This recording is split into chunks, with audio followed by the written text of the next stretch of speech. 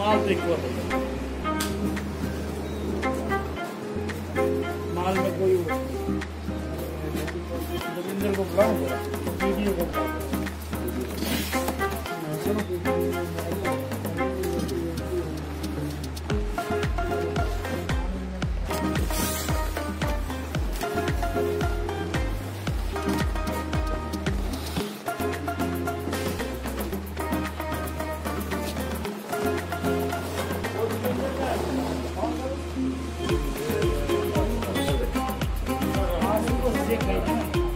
गाड़ी के नीचे खड़ी है